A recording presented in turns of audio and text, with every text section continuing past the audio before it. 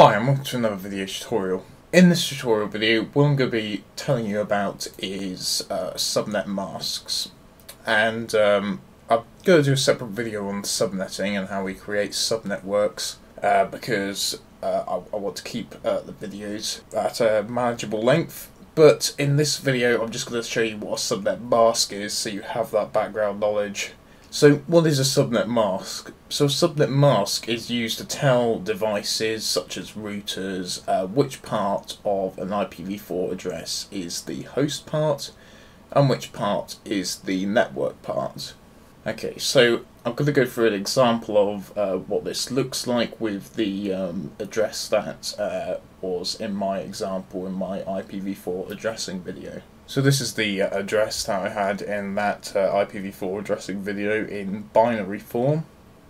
And uh, in dotted decimal form, it looks uh, like this 192.168.10.2. And uh, look at that video, IPv4 addressing, if you uh, don't understand what I'm going on about with these two addresses, or these two forms of the same address. So because, um, as I said in that video, this part of uh, the this particular address is the network part, and this part here is the host part. Our subnet mask for uh, this address in binary format is going to look something like this. So that's our subnet mask in binary form, and the reason that that is our subnet mask is uh, our, our subnet mask contains um, ones for all of the bits in the IPv4 address that um, are part of the network part. So because our first three bytes in this address are the network part, the first three bytes in our subnet mask are ones.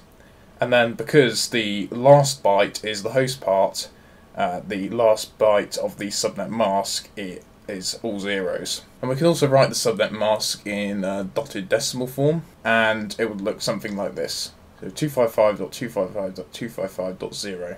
And that's just, uh, we, we've converted that to dotted decimal in the same way as we convert a binary IP address, IPv4 address, into dotted decimal.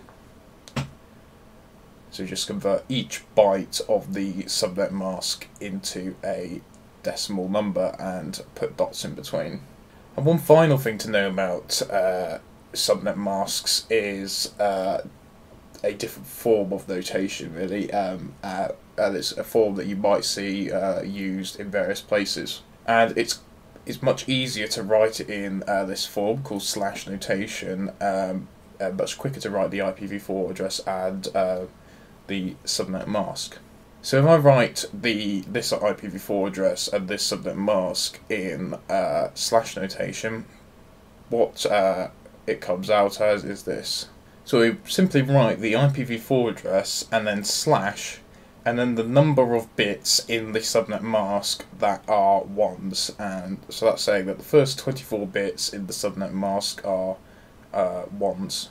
So this form of the, this form of the writing the IPv4 address and the subnet mask is uh, usually used whenever um, uh, people are reading the uh, IPv4 address and the subnet mask because it's much easier to read than uh, writing down the binary form or even uh, much simpler to write down than uh, writing the IPv4 address and then the subnet mask separately.